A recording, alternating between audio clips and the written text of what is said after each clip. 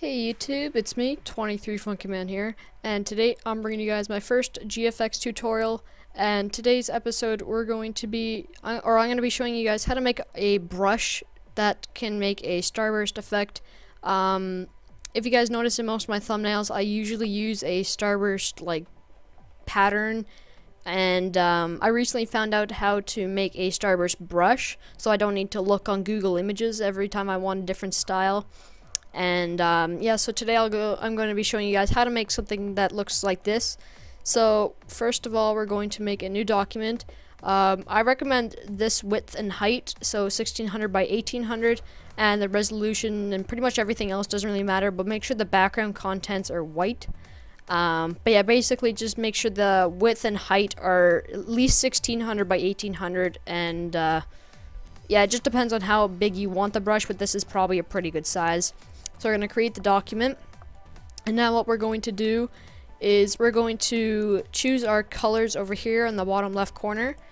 And we're going to choose two colors that are similar in in in tone so or in color. So I'm going to pick a dark gray and a lighter gray.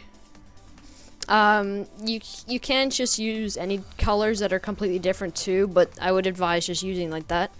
And um, now we're going to go to the paint bucket tool and use the gradient tool. If you want to know how to get that, you just go and select that.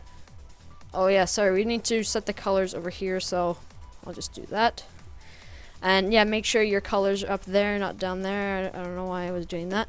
And uh, now on your um, on your document, you're going to go to the top, and you're going to make a straight line down. It doesn't matter if you're in the middle or whatever. Um, and the way you make a straight line down is um, while you're when you click, you hold shift and it'll make a straight line so you don't have any weird angles. And it should generate a nice gradient for you. So now what you need to do is you need to, well, because this is pretty plain and this doesn't exactly look like a starburst effect yet, you need to go to filter at the top and you need to go to distort and wave and I have the settings already made out so pretty much you can just copy my settings. The number of generators is 999 wavelength minimum 71 max 72 amplitude 34 35 scale is 100 and 100 for the type it's sine and for the undefined areas repeat edge pixels. Um, so yeah you should just see a bunch of straight lines pretty much.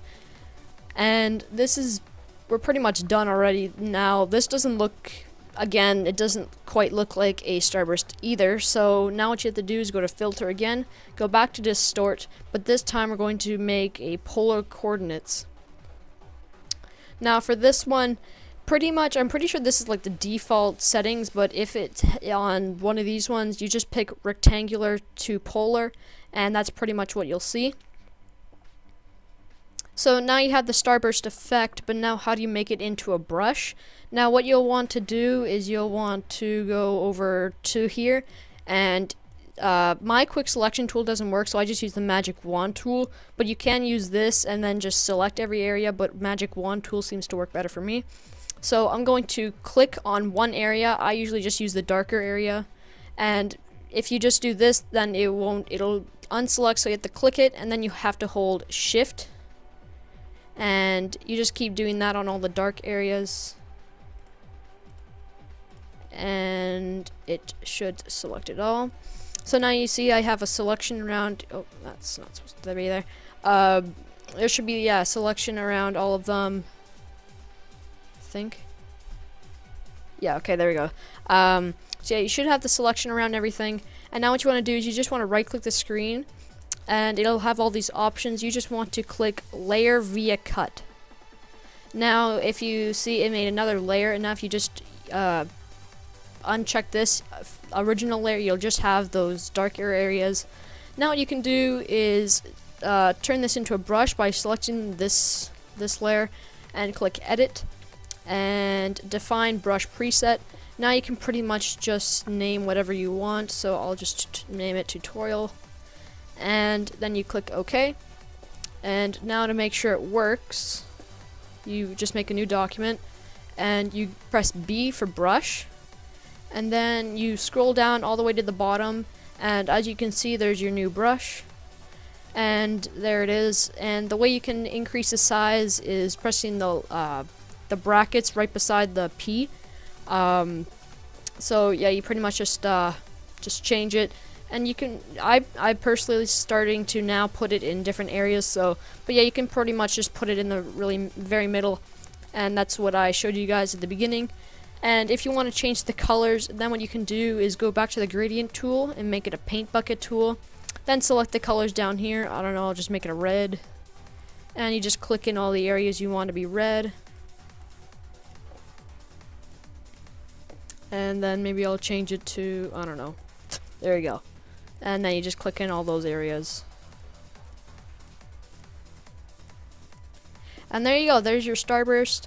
Um, this is a lot easier, I think, than finding ones on Google. I mean, you could just find one on Google Images, um, but this way you can um, pretty much just change it the way you like it, and I think this is a lot better.